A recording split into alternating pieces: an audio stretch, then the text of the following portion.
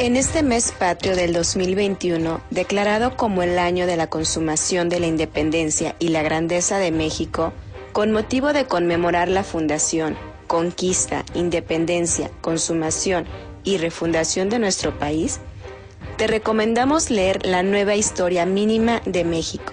Es una edición completamente renovada de un clásico que nunca ha faltado en las librerías mexicanas desde 1973 y que se ha convertido en un referente sobre una parte importante de la historia de nuestro país. Esta obra narra desde los acontecimientos del Imperio Antiguo hasta los últimos sucesos del siglo XXI.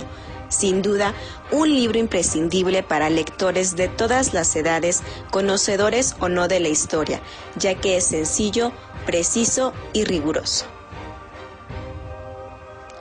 Este capítulo comprende el periodo que abarca de 1808 a 1876, es decir, el trayecto desde la independencia y la fundación de un Estado nacional hasta su consolidación como república. Se trata de un periodo de transición en el que el liberalismo y el sentimiento nacional se van desarrollando.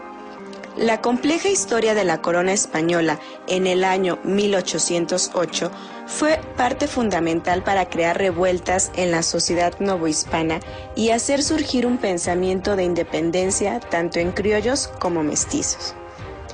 Este capítulo nos explica detalladamente cómo se fue gestando el movimiento en las tertulias literarias que se llevaban a cabo en la casa de los corregidores Miguel y Josefa Ortiz, junto con Ignacio Allende, Juan Aldama y el cura don Miguel Hidalgo, quien encabezaba este grupo y el inicio de un gran levantamiento. La historia de esta gran lucha inicia un domingo 16 de septiembre de 1810 al ser descubiertos. El cura Miguel Hidalgo tocó las campanas de su iglesia para reunir a los feligreses y convocarlos a combatir contra las injusticias del gobierno virreinal.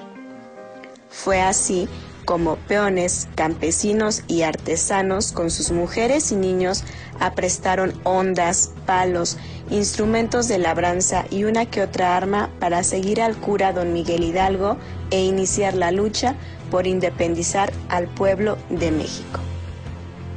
El capítulo de la independencia, la consolidación de la República, narra con detalles cada uno de los acontecimientos presentados en esta lucha por la independencia y cómo logró consumarse el 27 de septiembre de 1821 con la entrada del ejército trigarante a la Ciudad de México. Sin duda alguna, el libro de la nueva historia mínima de México nos proporciona conocimientos básicos y amenos sobre nuestra historia. La importancia de conocer cada uno de estos pasajes históricos que nos trasladan al pasado radica esencialmente en entender nuestro presente para construir nuestro futuro.